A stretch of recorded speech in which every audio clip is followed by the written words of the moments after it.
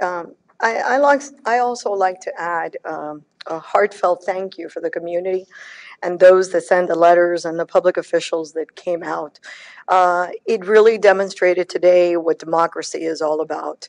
Having two voices, even though decision makers may be thinking one way, you get to listen to how the other side is really going to be affected. And that's where the delicate balance comes in today as we cast our vote. I want us to, to be remembered.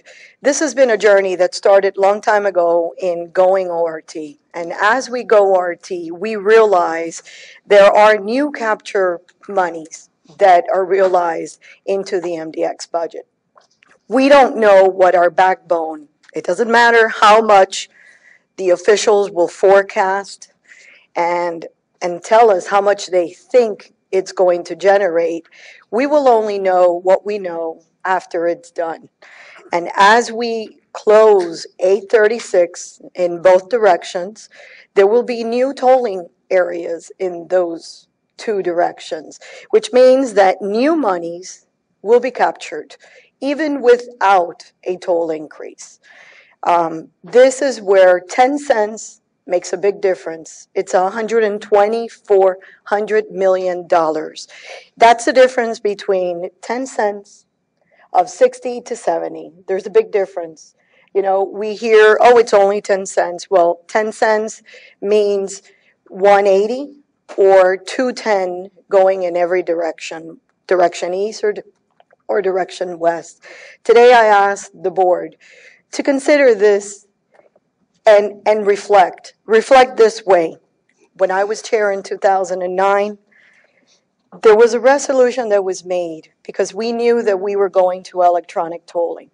And on those three expressways, and when I'm referring to those three expressways of 924, 874, and 878, we did a resolution that the majority of the members are still here today and voted for it. And they voted to hold the line on those toll increases until such time we had realized ORT and we knew what this electronic collection would do.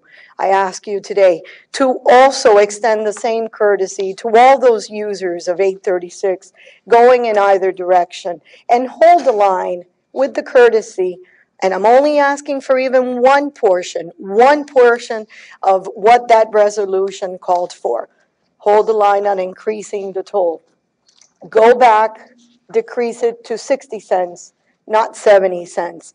That resolution I, I have here today unbeknownst to me, when we voted on the new toll rate policy, this was actually, you can call it abolish, delete it, it dropped off the table, off the face of the map, but it was something that the wisdom of this board and those in power, Mayor Ferre, you were on that board. You voted in favor of this.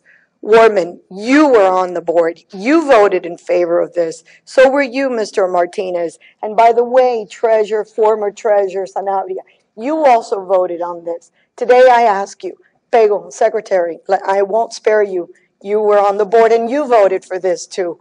I ask you today, reconsider and do the same thing for those users of 836 and 112 on both direction. Provide that same courtesy that we did to the other three expressways. Only until such time you will realize what actually ORT will realize.